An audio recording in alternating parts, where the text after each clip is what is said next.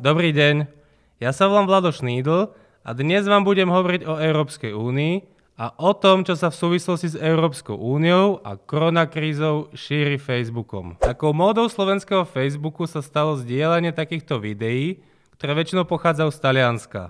Sú na nich buď bežní ľudia, alebo aj miestni politici, ktorí buď pália európske vlajky, alebo ich demonstratívne dávajú dole zo žrdí a miesto nich vyvesujú napríklad rúské vlajky. No a takéto videá nadšene zdieľajú mnohí Slováci, v prvej línii samozrejme Kotlebovci, ktorí k tomu píšu, že už, už sa tá Európska únia rozpadne a konečne budeme fungovať normálne, bez tých bláznov v Bruseli. Do toho pribúdajú aj rôzni v úvodzovkách antisystémoví bojovníci, ktorí píšu o tom, že Brusel v tejto koronakríze akoby neexistoval, že nás nechal v štychu a podobne. Jednoducho, kto sa dnes chce presadiť na Facebooku, tak nie je nič jednoduchšie ako napísať niečo o tom, ako Európska únia zlyháva a ako nás zachraňuje Rusko, prípadne Čína. No a tie výsledky môžeme vidieť aj na tomto grafe. To je prieskum agentúry Focus pre denník N z konca marca, v ktorom sa sociológovia pýtali Slovákov, kto podľa nich pomáhal Slovensku počas tejto pandémie. Podľa tohto prieskumu celých 60% Slovákov nezaznamenalo žiadnu výraznejšiu pomoc zo strany Európskej únie.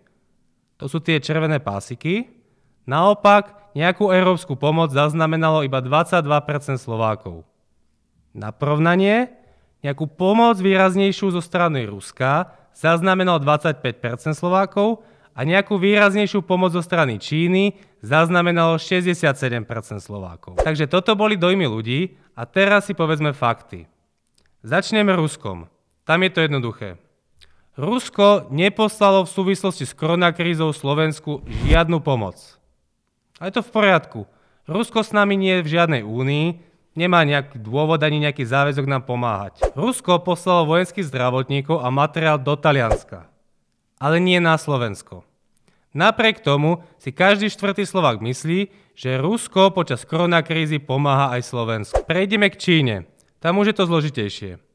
Z Číny doteraz Slovensko dovážalo veľkú väčšinu ochranných pomôcok, ktoré potrebuje pre svojich zdravotníkov, pre lekárov, zdravotné sestry, pre tzv. zložky prvého kontaktu. V týchto čínskych zásielkách ľudia vedia aj vďaka slovenským politikom, zvlášť z tej bývalej vlády, ktoré boli na letisku vítať ten čínsky tovar a potom verejne ďakovali čínskej strane za jej ochotu. Väčšina tých čínskych zásielok je v podstate obchod. Alebo ak chcete biznis. Slovensko za tie ochranné pomocky platí desiatky miliónov eur. No a nezriedka je ten tovar predražený. Napríklad štátne hmotné rezervy v tej prvej fáze preplatili ochranné pomôcky o 13 miliónov eur minimálne. Čo ale nie je zodpovednosť Číny. To je zodpovednosť Slovenska aké sprostredkovateľské firmy sa na tento obchod najíma. Len menšia časť týchto zásielok bola oficiálne dar. Takto napríklad pred Veľkou nocou pristal vládny špeciál, ktorý doviezol z Číny tovar za zhruba pol milióna eur, ktorý bol oficiálne darom čínskych úradov Slovensku. Čínska diplomácia sa zároveň snažila tento dar aj využiť, urobila k tomu tlačovú konferenciu a snažila sa tu pomoc nejakým spôsobom medializovať. A treba povedať, že to je jej plné právo. A treba tiež povedať, že na tom nie sme tak ako napríklad Srbsko, kde miestny prezident pri prilete tej čienskej pomoci urobil toto.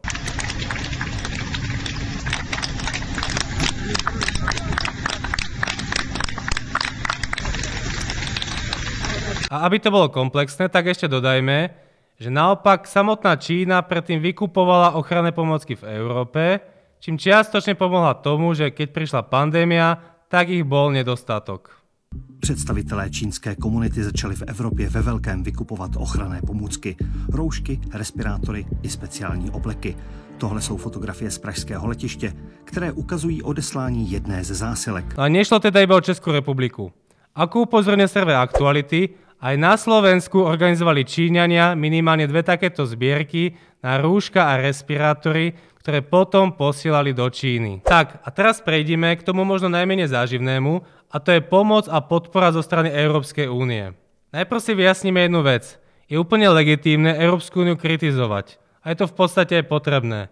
Len je dobré kritizovať ju za niečo, čo reálne robí alebo reálne nerobí, respektíve za niečo, čo robiť môže alebo nemôže. Ani európske inštitúcie, možno ani Európska komisia neboli také pružné, ako mohli byť. Zrejme aj opatrenia na to, aby tie kamióny tak zúfalo nepostávali na našich hraniciach, aby sa tie obchodné reťazce zásobovali plynulejšie. Všetko toto zrejme mohlo byť organizované lepšie, pružnejšie. Ale vo facebookových debatách častokrát zaznieva, že Európska únia mala poslať nejakú zdravotníckú pomoc alebo lekárov do Talianska alebo do Španielska. A toto už Európska únia urobiť nemohla. Prečo? pretože o zdravotníctvo sa stará každý štát zvlášť. Článok 168 Lisabonskej zmluvy, odstavec 7. Pri činnosti Európskej únie sa rešpektuje zodpovednosť členských štátov za vymedzenie ich zdravotnej politiky, za organizáciu a poskytovanie zdravotníckých služieb a zdravotníckej starostlivosti. Čo to znamená? Kritik môže vyčítať členským štátom, napríklad Nemecku, Dánsku, Českej republike, možno Slovensku, neviem, že včas neposlala Taliansku alebo Španielsku nejakú zdravotníckú pomoc alebo zdravotníkom. Ale nemôže to vyčítať Európskej únii, pretože Európska únia nezodpovedá za zdravotníctvo. Je to podobné, ako keby ste mali doma mačku a tej mačke by ste vyčítali, že nevie aportovať ako pes. Takže čo teda Európska únia robiť môže alebo nemôže? Európska únia má tú nevýhodu, že jej pomoc nemá podobu takýchto škatúl, ktoré sú pre človeka ľahko predstaviteľné. Európska únia napríklad pomohla s prepravou časti Slovákov späť do vlasti, pretože zatlačila na niektoré štáty, ktoré uzavreli vzdušný priestor, aby umožnili repatriačné lety. Ďalej, Európska únia tlačí na to, aby kamióny mali vytvorené prednostné pruhy na hraniciach a tým mohla pokračovať preprava tovaru aj počas uzavretých hraníc. Pretože voľný pohyb tovaru, tak to je zodpovednosť Európskej únie. A pokiaľ ten hapruje, tak vtedy je na mieste pýtať sa, čo robí Európska únia. No ale to hlavné, v čom Európska únia môže pomôcť, to sú peniaze. Pretože Európska únia rozhoduje o tzv. eurofondoch, do ktorých aj Slovensko posiela svoje príspevky, aby sa mu trikrát toľko vrátilo späť. Všetci vieme, že s čerpaním eurofondov má Slovensko dlhodobé problémy. Či už preto, že to nevie zvládnuť administratívne, alebo preto, že sa ich niekto na Slovensku snaží tunelovať, v čom sme ešte donedávna patrili k absolútnej špičke. No a späť k pandémii. Európska únia umožnila, aby Slovensko mohlo tie peniaze, ktoré nestihlo vyčerpať, použiť na boj s koronavírusom a jeho následkami. Slovensko takto môže okamžite použiť 527 miliónov eur, ktoré má momentálne na svojich účtoch a výhľadovo môže získať ďalšie miliardy, či už vo forme dotácií z eurofondov alebo z výhodnených úverov alebo garancii za úvery pre malé firmy. A tým sa dostávame k pointe. Toto, čo som vám hovoril o európskej pomoci, to je nuda. To človek musí rozlišovať medzi kompetenciami členských štátov a európskych inštitúcií, reč je o kohéznej politike, reč je o bankových garanciách, no nič na voľné chvíle. Za to kritici, ktorí sa vezú na tej antieurópskej vlne, títo majú oveľa jednoduchšie. Im stačí vypustiť nejaký takýto obrázok, Akože zlá Európska únia nám tu škodí a jediný, kto nám pomáha, je Čína. Alebo dajú nejaké takéto memečko, kde je pre zmenu Angela Merkelová, čínsky prezident, Merkelová ako tá, kto nám škodí, čínsky prezident ako ten náš kamarát. A toto môže byť pre ľudí oveľa zrozumiteľnejšie, či už je to pravda alebo nie je. Akože nie je. Keď sa na človeka každý deň valí nejaký takýto obrázok, alebo video, alebo status, tak ho to pochopiteľne môže ovplyvniť. Pretože ako hovorí ľudová múdrosť, stokrát nič zabilo aj vola. Tak a sme na konci. Na záver si zhrňme to podstatné.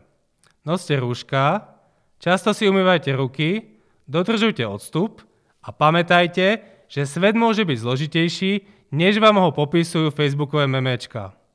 Majte sa pekne a nenechajte sa napáliť.